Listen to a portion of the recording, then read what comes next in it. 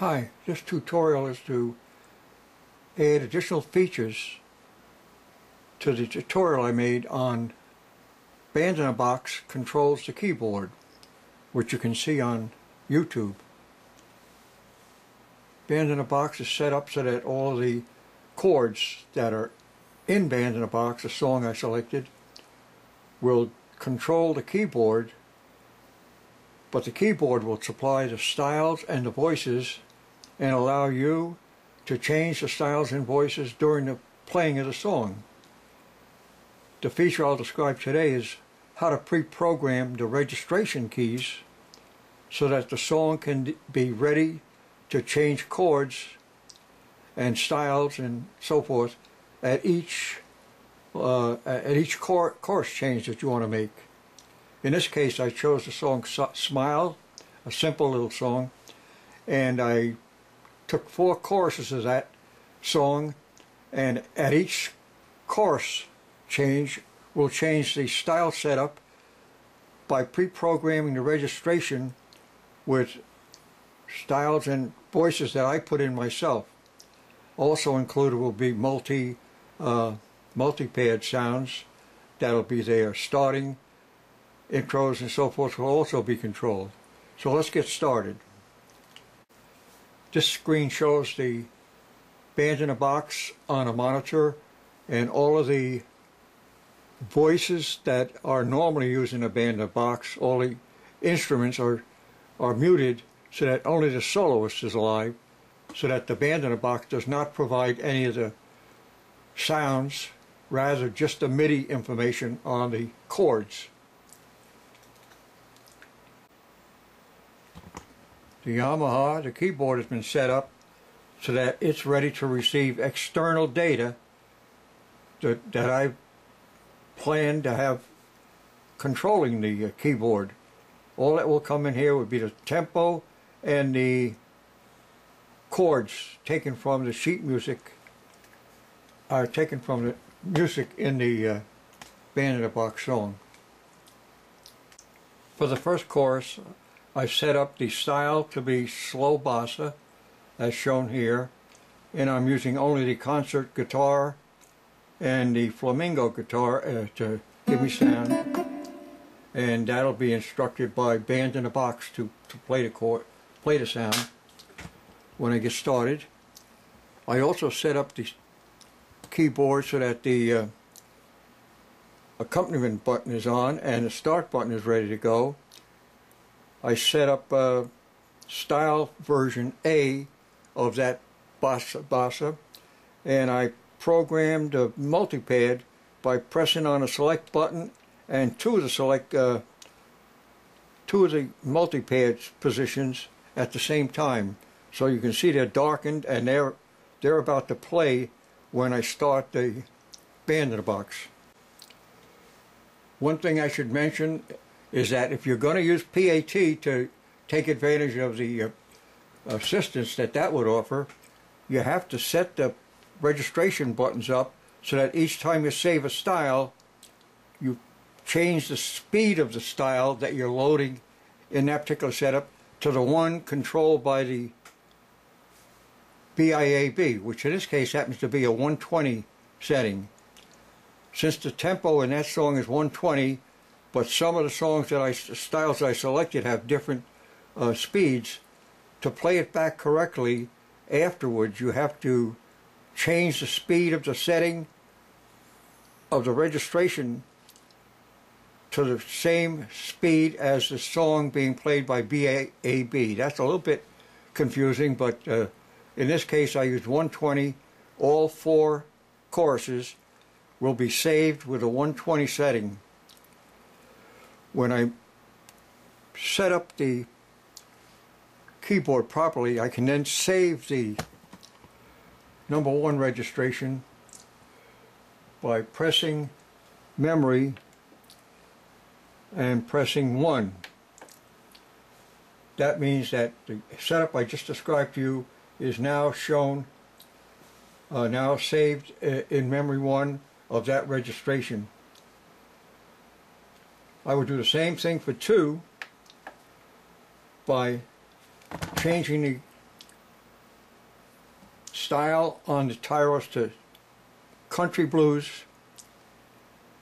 changing the instrument to country picking, and steel guitar and finger finger bright. And I'll have it all set up so it'll transition from registration one to two. It'll also give me a, a little break at the beginning of it and kick off two new multi-pads. As you can see by this setup, I've darkened the two outer ones by holding down a select button and pressing those. I go here, memorize it. Now that's saved. I did the same thing for three and four, just so we can jump ahead. If I go, if I press three, you'll see I have Motor City here, save uh, in the registration, same technique I just described, and the rock sax, and finally registration four, organ and uh, the other instrument, cassata, whatever that is, plus the orchestra rock ballad. So what I've got now, with one being ready, is I can start the song in BIAB, and it will then record the song at each chorus. After each chorus, I'll step up from one to two, and from two to three, and from three to four. So the whole song will be played with the uh, chord changes that I pre-programmed into the registration setup. I could use foot pedals if, if I were set up for that in place of my fingers on the buttons, but I'd rather just place the, press the buttons for now.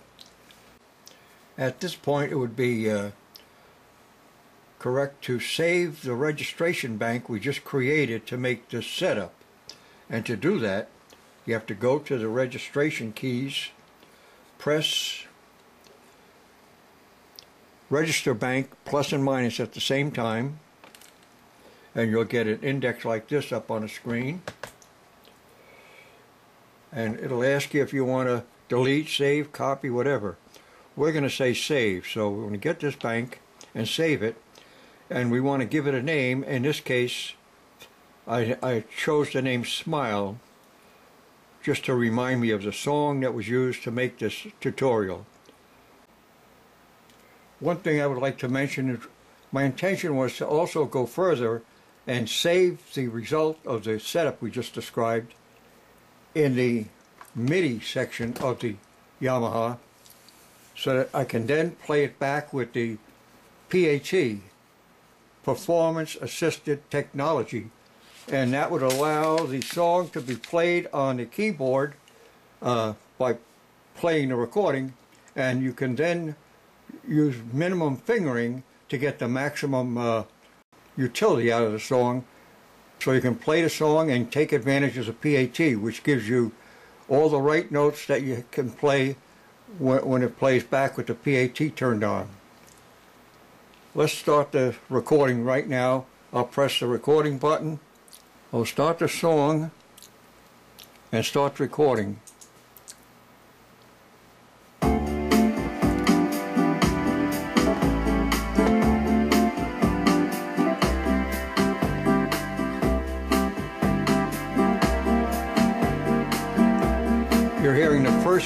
First chorus go through.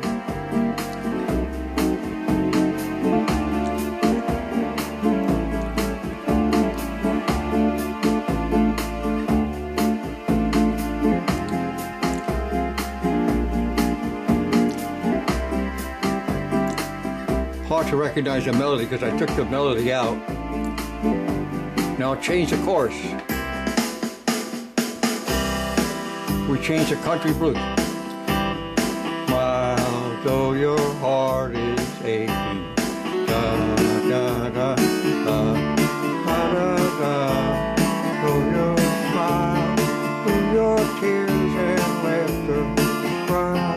What's the use of crying? Your life will still be worthwhile. Switching over to three now. Now here goes three.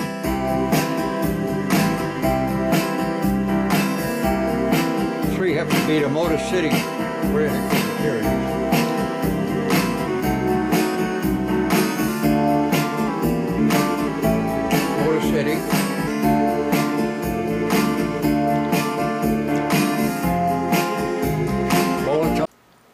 Now we have to save the MIDI recording that we just made uh, in view of the instructions you see on the screen. Saved it so we can play it back and play along with it. So I'll set up for that. Once you've recorded the song in the audio section, the MIDI section I should say, of the uh, Tyros, you want to save it. To save it, you should go to the screen here and press the uh, title of the audio and press save. That would be this button here. Save is, I guess, number six. Yep. Press six. And I already saved it as the song Smile 4, so I won't do it again. But you would type in the name of the song, the title that you want to apply to that particular song, and save it. And that's okay. So you already got it saved. With that audio, uh, with that MIDI recording, I could play back the chords and everything else and sing along with it and everything would be fine. And I'd have a recording which would have the backing of the uh, tune I made from BIAB and the Yamaha pretty automatically. On the other hand, for those that don't know chords and uh, want to get a little use out of PAT, uh, they would have to set up the PAT function on the on the Yamaha. You'd have to go to the uh, function button, which you press function, and then press song setting. Under song setting down here in the lower right corner is a thing called PAT, Performance Assisted Technology. You'd want to press that number 8 button, upper 8 button to uh, on so that PAT is now in command. That's good. Now when I play the song back, it will uh, play only those notes that are complementary to the chords being in, input into the song. I'll demonstrate that with this. We have PAT on. I'm going to press the chord.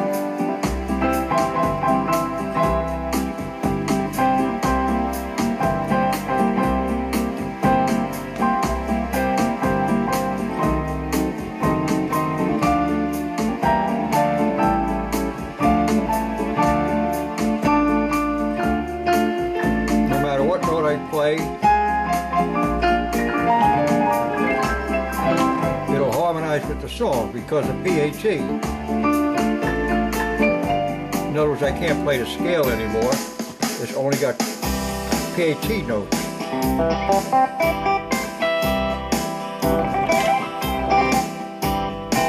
Or you hold down one note, it changes with the song.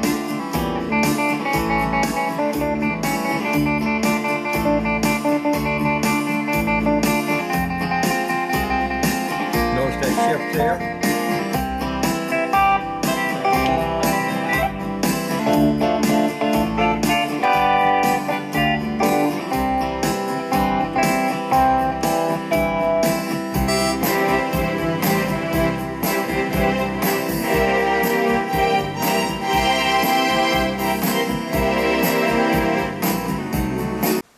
Think you have the idea there that the PAT allows you to play back a MIDI song that has been recorded on the Yamaha in such a way that none of the notes you hit will conflict with the chords being instructed into the Tyros by the recording.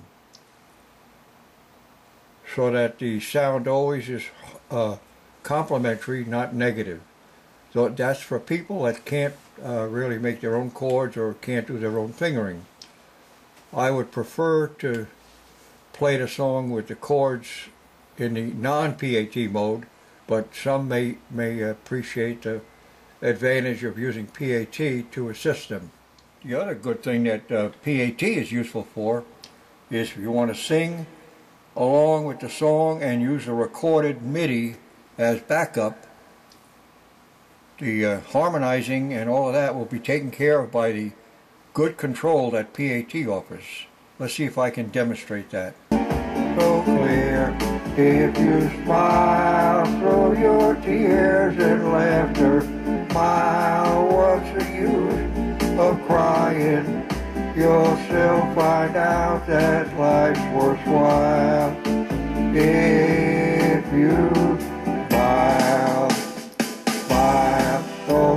Yeah.